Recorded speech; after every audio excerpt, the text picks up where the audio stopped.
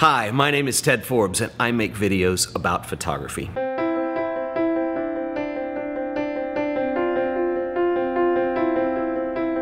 For the last eight years, I've produced a show online called The Art of Photography, and you can find this on YouTube and iTunes. And we cover a wide range of topics from the history of photography to compositional tools and analysis. I've done master classes, we've covered all kinds of tips and tricks, even camera reviews, and a whole lot more. Over the last year, I've started work on a new series for the show, a series about artists. I want to document the most significant photographers working today, and I want to do this in a way that inspires us, gives us an insight to their creative process and how they think. The first film in this series was actually completed and released last month. It's about Los Angeles based street photographer John Free, and you can actually see it by clicking on the thumbnail below. I'm extremely happy with how this came out. I've been working on several more of these over the last year, but this is where I need your help.